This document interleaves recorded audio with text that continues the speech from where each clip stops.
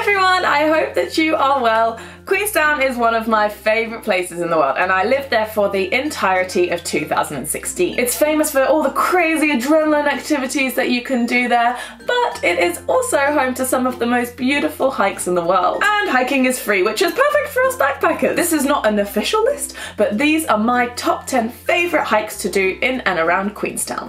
Number one is the classic Queenstown Hill. It's considered an easy hike which will take you around three hours to go up to the top and back down from right in the centre of town. What's really cool about it is that there are a bunch of signs along the walk which tell you about the progression and history of Queenstown. I absolutely love that aspect of it, but of course there is also an incredible view when you get to the top. And you'll definitely build up a sweat, but I wouldn't say it's a difficult one. Number two is the Tiki Track or the Tiki Trail or whatever you want to call it. And this takes you from the centre of town up to the top of the Skyline Gondola. It's pretty steep and a bit uneven at times, but it's still a very enjoyable hike and it takes around an hour to get to the top. Then you can grab yourself some water or a drink at the Skyline Cafe or just go luging, you know? The view at the top is obviously incredible and gives you the classic aerial shots of Queenstown that you may be used to seeing in pictures. You can choose to take the gondola down, which is a bit pricey, or you can just walk back down all the way into town. Number three is the mighty Ben Lomond, which is the highest peak in the Queenstown area. The track goes beyond the Tiki Trail, so you can either start by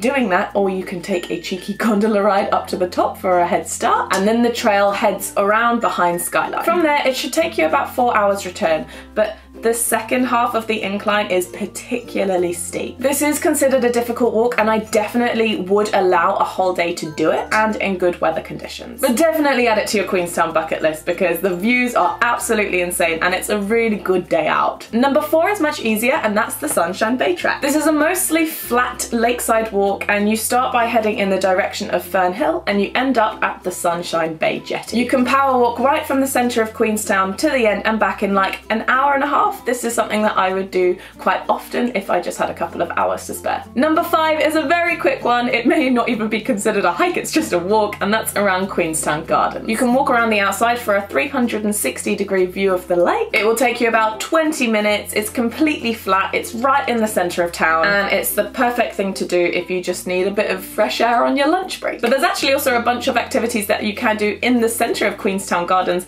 if you wish. For example, there's a skate park, there's an ice rink, and there's also a frisbee golf course which goes around the whole thing. So, you know, just grab yourself a frisbee and then go for a little game out there. Now, my second five, you will need a car to get to the start points, but it's still considered in the Queenstown area and it's well worth the lift. You can even just hitch a car to these start points if you have no car and no money. So, number six is a loop track around Mount Crichton. So, you don't actually climb a mountain, but it is a fairly hilly track and you will need a moderate amount of fitness. It takes around two to three hours to complete. It's very foresty you pass lots of waterfalls, you also pass a historic hut, but I won't tell you too much about that because I'll let you discover that for yourselves. To get there is about a 20 minute drive from Queenstown in the direction of Glenorchy, and I really like it because it feels proper off the beaten track. Number seven is actually my favourite number one hike to do in the whole of the Queenstown area, and that is the Moke Lake Loop Track. It took me around an hour to power walk the whole loop track, and I would do this several times a week. The constant view is just beautiful. It has such a serene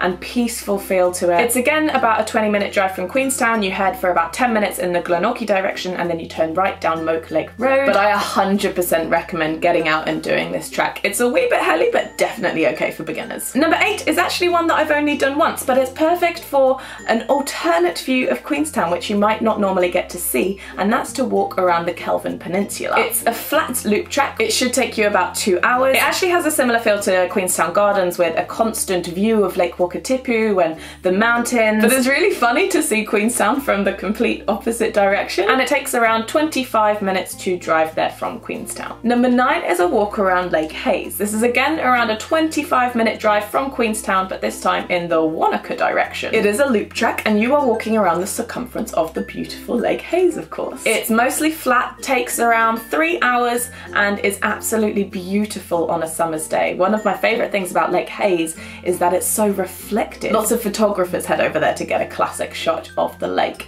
but it is a perfect half day activity. And finally, number 10 is a big daddy of a hike, and that is the track to Macetown. The track starts in gorgeous Arrowtown and follows down the Arrow River. And eventually, and I mean eventually, you get to a ghost town named Macetown. And the really cool thing about it is that you can only get there by foot or by like an outrageous 4x4 vehicle. So it's really somewhere that not very many people go at all. You should allow 8 hours for the whole round trip and I think it's like 34 kilometers in total. It is a fairly flat walk which is a bonus to save your legs a bit but they will be aching at the end of the day. It is a really great adventure though with wonderful mountain views and valley views and uh, river and stream crossings and really getting the feeling that you're just secluded in the middle of nowhere and just really escaping. But for that reason definitely recommend going with a friend and just in case you run into any trouble, there's no one out there. No one out there's gonna help you. So yeah, just make sure you're part of a, at least a little group. Just just so you're not alone. I don't want you getting in trouble.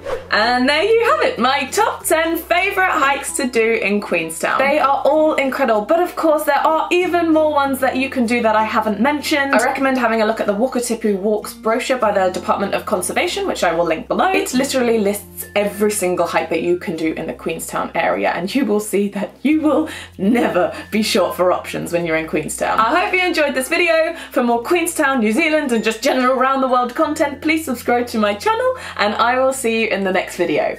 Bye!